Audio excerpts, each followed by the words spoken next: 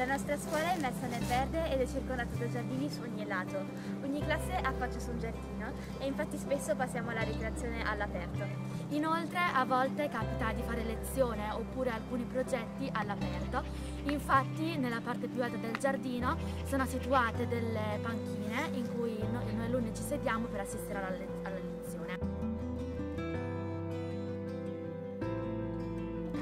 Questa cosa ci aiuta molto anche in questo periodo in cui dobbiamo tenere le mascherine per prendere un po' di aria fresca.